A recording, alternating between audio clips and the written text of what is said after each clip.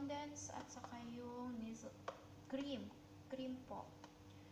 At saka yung grahams. Isang pack lang po yung gagawin ko na grahams. Yung mangga ko, dalawang piraso lang po. Napakamahal. Dalawang piraso is 6, uh, 50 real. So, nasa piso siya. Pag i-convert po natin is nasa 60 plus pesos po. Tapos, ito na po yung mixture natin ng cream at saka yung condense. Ito na po siya.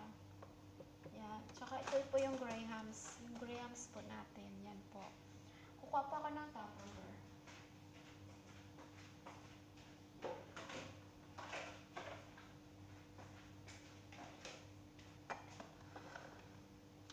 Yan. Dito ko na lang po ilalagay sa tupperware yung aking mango float. Yan. Yan po. Parang sobrang lapot. Parang maganda siguro dagdagan natin ng evap milk.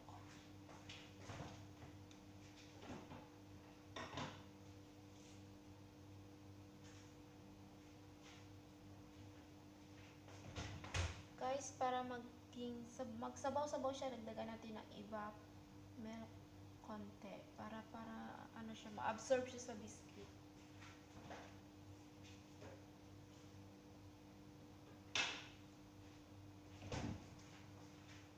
Yan na guys.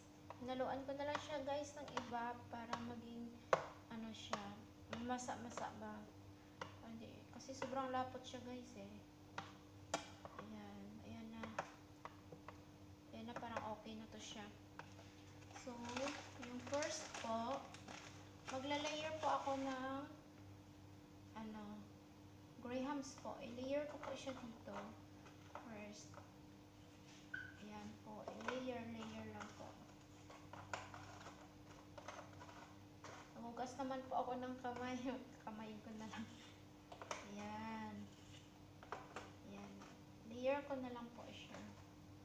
First layer. Ayan, first layer.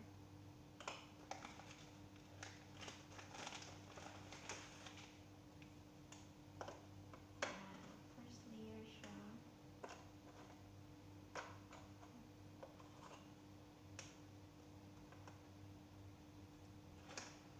Tapos, lalagyan po ng mangga.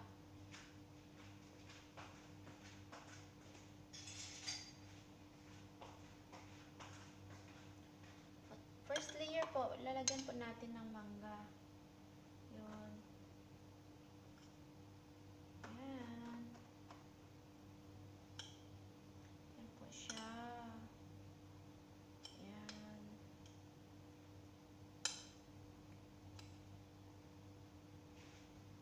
Masarap to guys. Filipino dessert guys.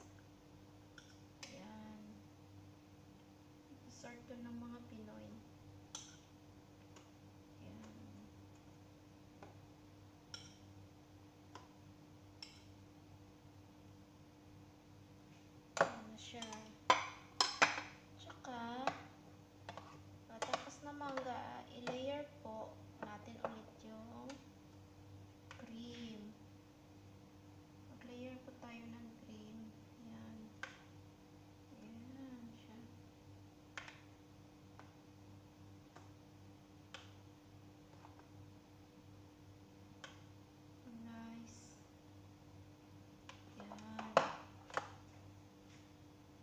second layer na naman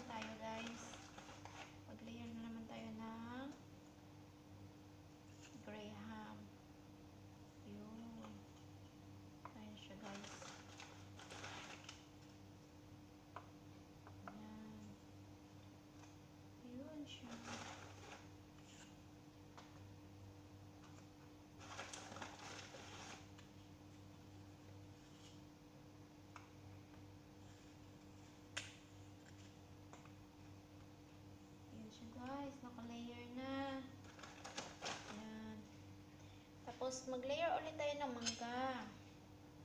Ayun, lagyan natin ulit siya ng mangga.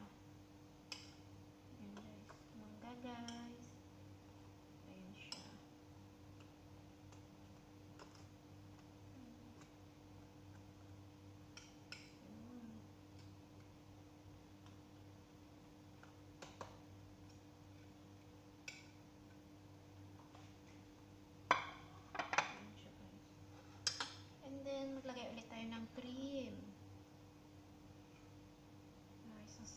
Guys, naman. Sarap eh.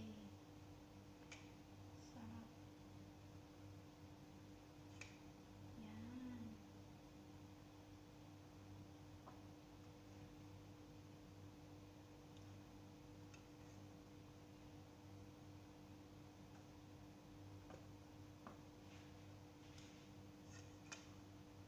Yan na siya guys.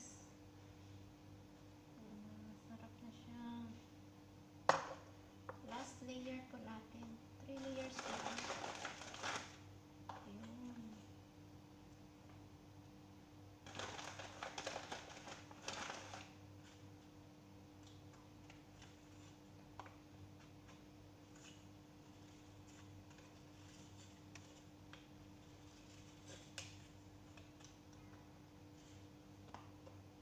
Four layer lang tayo guys.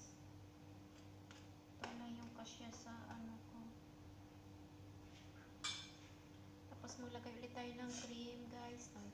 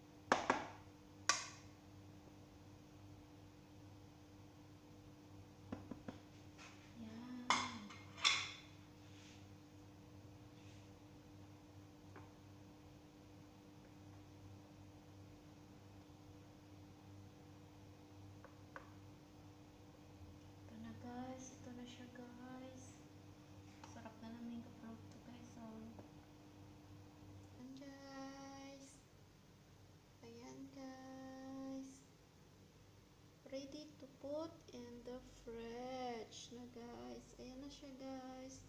Yan, ang sarap na ng aking mango float. So, overnight ko siya sa freezer.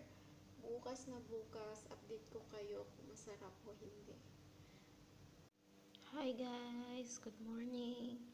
Ito na po yung mango float. Ayan, malamig na po siya. Slice po natin. Ayan.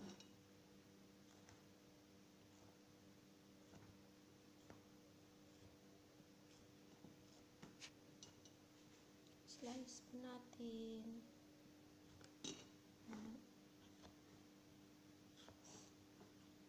Tigas, naga-ice.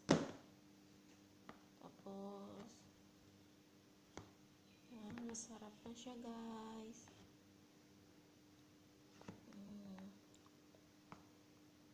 Basta ulit.